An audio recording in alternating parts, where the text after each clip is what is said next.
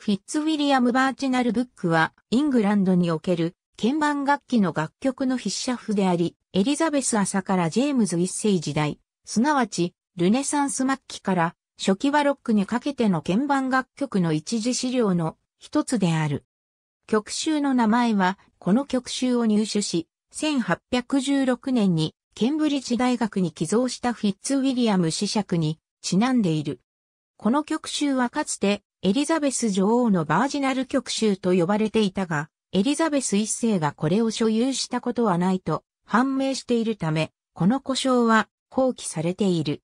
それどころか、曲集全体の写譜者で元来の所有者が、カトリック信仰を理由に投獄されたフランシス、トレギアンであった可能性もある。当時の鍵盤楽曲集の多くは演奏者によって編纂されていた。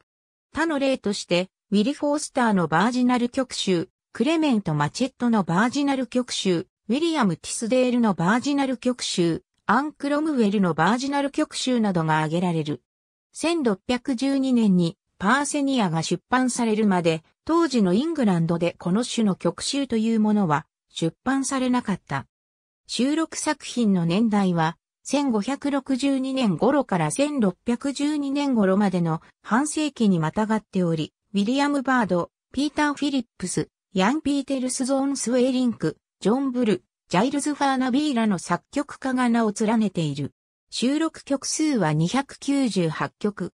当時の鍵盤楽曲の筆者譜の通例として、どの曲も特定の楽器は指定されてはいないが、バージナル、チェンバロ、クラビコード、オルガンなど、当時の鍵盤楽器のどれでもよく演奏できる。収録曲は大抵商品で、多くは表金で印象深い題名がついている。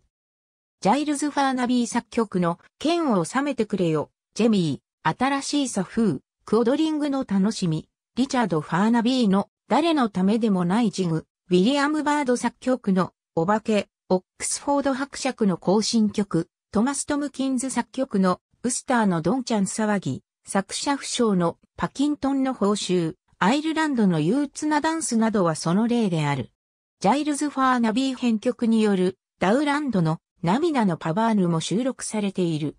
ジョバンニ・ピッキのトッカータやオーランド・ギボンズのパバーヌなど、この曲集のみによって伝えられている作品も少なくない。この曲集は当時は出版されず、個人蔵となっていた。